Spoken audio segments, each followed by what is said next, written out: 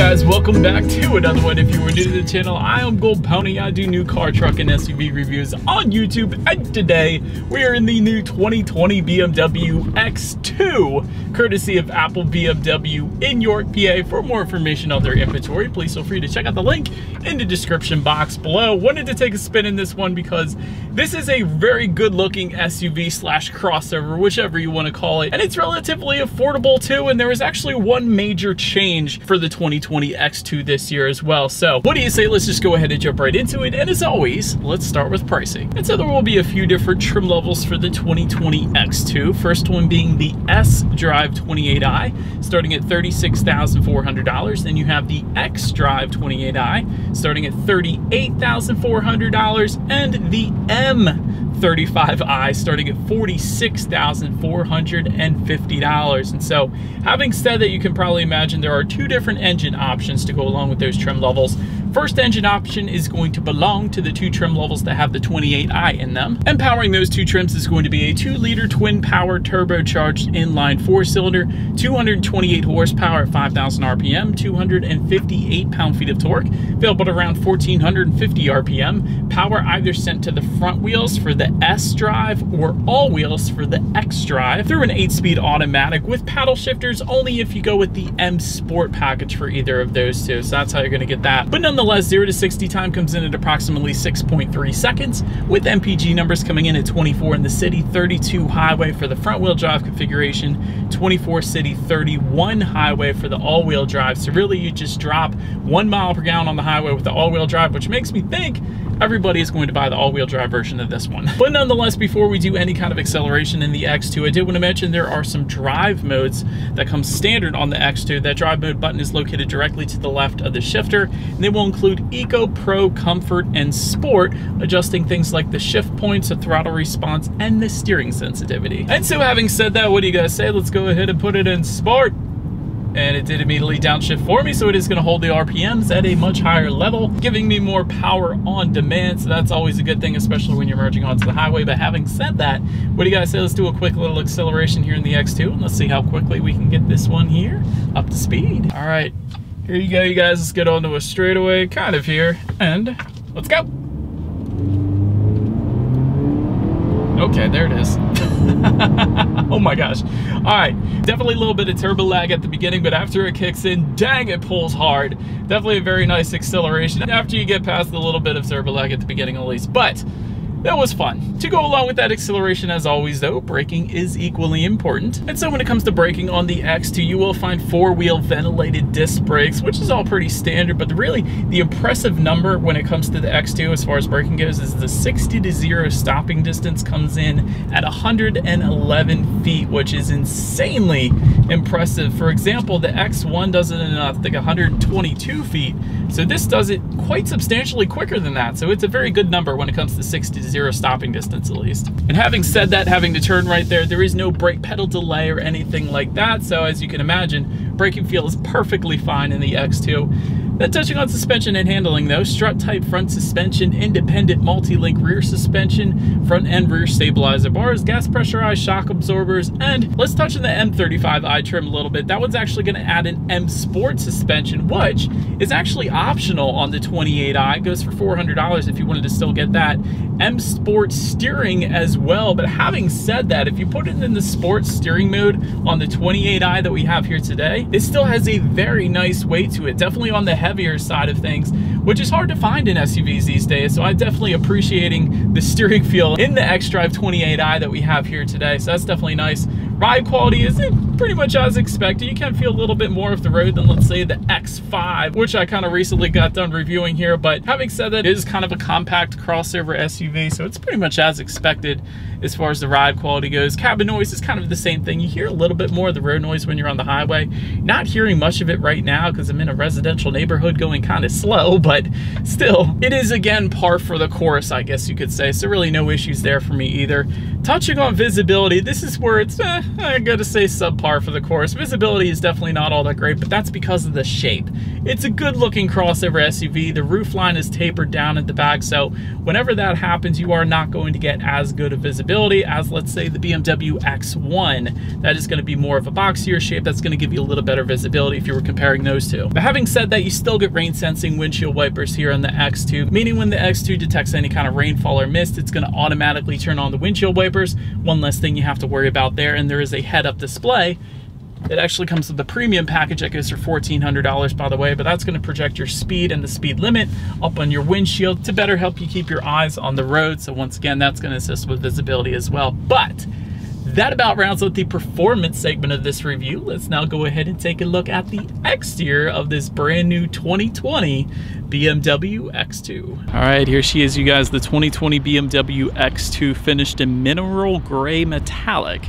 In case anybody was curious, that is a $550 option, by the way, but if you liked it, that's what the color is called. So let's go ahead and start up front on this one now. Up front in typical BMW fashion, you have that active kidney front grille, LED headlights to the sides with cornering lights.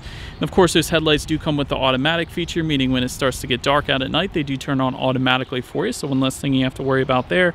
LED daytime running lights, also standard LED fog lights as well. And did want to mention the front end is going to differ slightly depending on which setup that you go with. You have matte black accents if you go with any of the 28i trims that you are currently looking at right now, or body colored accents if you go with the M35i.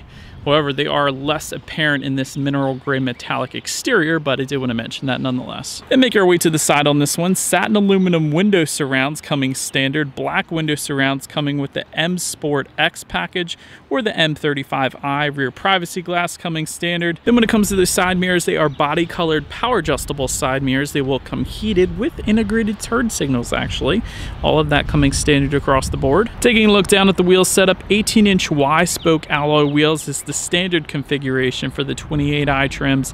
19 inch double five spoke wheels coming with the M35i as expected. But perhaps my favorite part about the X2 at least is the BMW logo found on the C-pillar in the back there. Quite often you always find them in the front and the back of vehicles, but you almost never find them on the C-pillar in the back that's quite cool. It's definitely unique, something you don't see that often, which is why I particularly absolutely love it. So I, of course, did want to mention that matte black side skirts coming standard. That's what we have right now. Body colored and gray accenting on the side skirts if you go with the M35i or the M Sport X package. Did want to also mention, if you were looking for roof rails on the X2, that is a $250 option. They are satin aluminum roof rails too if you wanted to go that route. But now let's go ahead and make our way to the back on this one. Shark fin antenna coming standard, of course. Rear spoiler with an integrated brake light around back there. Rear window wiper as well. Of course, to the sides, you have LED taillights as expected. And just below it all, dual exhaust outlets with very bright chrome tips. You gotta love it. So you guys know what we have to do next. As always, here is that exhaust clip.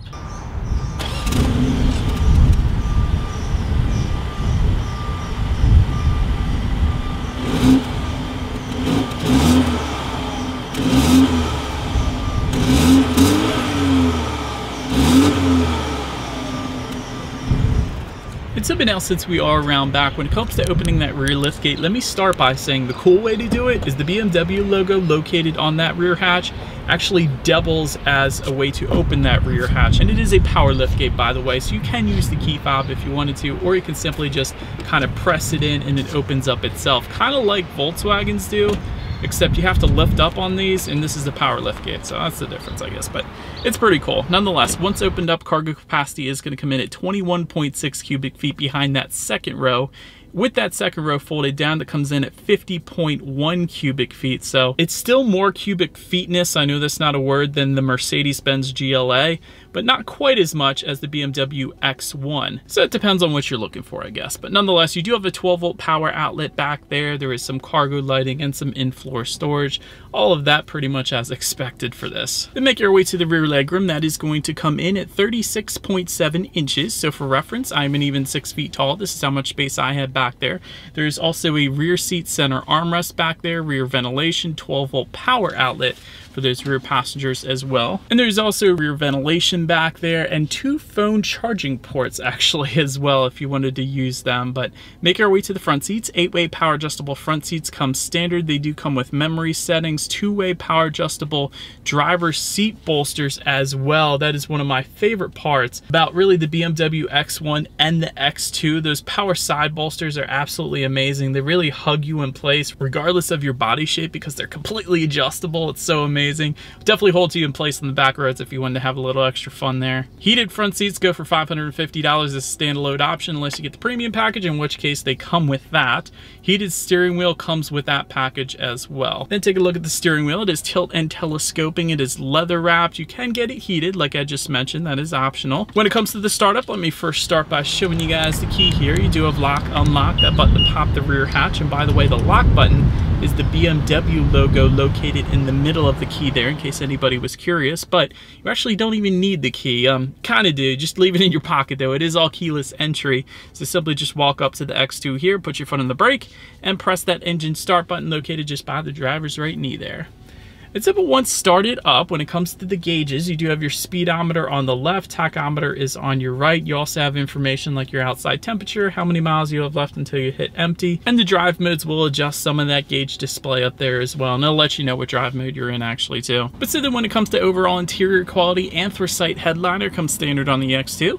Panoramic moonroof comes with the premium package, which we do have today, so I can show you that. That's pretty cool. Universal garage door opener also coming with the premium package. That's going to be located on the rear view mirror for up to three different garage doors, and that's always a big plus because the alternative is that rattling garage door opener that you stick on the sun visor, and that at highway speeds can rattle quite a bit and kind of get annoying. At least that's my personal experience on that. Wireless phone charger can be added for an additional $500, but perhaps my favorite part about the interior quality is the ambient lighting, which can be controlled using the tech display, but there's several different colors, orange, bronze, white, green, blue, lilac, and it just makes this thing look so much cooler at night. It's gonna be kind of hard to see here in this video because I'm shooting it at one in the afternoon, so it's still daytime, but at night, this is gonna look absolutely freaking amazing. So ambient lighting is my favorite part about the interior quality, but of course you have soft touch materials everywhere. There's stitched leather up top here. 12 volt power outlet with some storage just in front of the cup holders, electromechanical parking brake. And as far as the center armrest goes, it's one of the cooler things. It is completely adjustable. It locks into place by like a million different settings, I feel like. So you can really set it higher or lower. That is one of the cool things I didn't want to forget to mention because that definitely makes cruising in the X2, perhaps on the highway, a lot more comfortable than it otherwise would have been. And a lot of SUVs don't come with adjustable armrests like that, so that's pretty cool. And you do have some storage in there, phone charger as well, so that's definitely nice. But Let's now go ahead and make our way to the tech display on the X2 here. 8.8 inch high resolution color touchscreen display comes standard. That is the major change for the 2020 X2 because previously the standard setup was actually a 6.5 inch color touchscreen display in 2019. So now for 2020, you have the standard 8.8 inch color touchscreen display. So that's pretty darn cool up there. You can control it through the touchscreen, like I said. It is controlled by voice activation as well. There's a circular dial and buttons just behind the shifter. So a bunch of different ways you could check out what's up there. Of course, Bluetooth and audio streaming come standard, Android Auto and Apple CarPlay, meaning if you have a smartphone, hook your smartphone up to the X2, you have free navigation up there as well as the ability to like and dislike your Pandora songs. You can also check out the weather up there. Factory navigation system actually comes standard. Again, you can check out your ambient lighting settings up there. That's definitely a big plus. Drive modes are displayed up there when you switch them up next to the shifter there. Climate control information and your radio information. And here's the fun part for me. Let's go ahead and test out the sound system. The standard sound system, by the way, comes with seven speakers, 205 watts. There is an optional Harman Kardon sound system that we don't have today, but I did just test out that same sound system in the X1. It was amazing, ton of bass there. But we do have the standard seven speaker sound system here, so what do you say? Let's go ahead and turn on the radio, see what we got playing today, and let's test out the clarity of this one.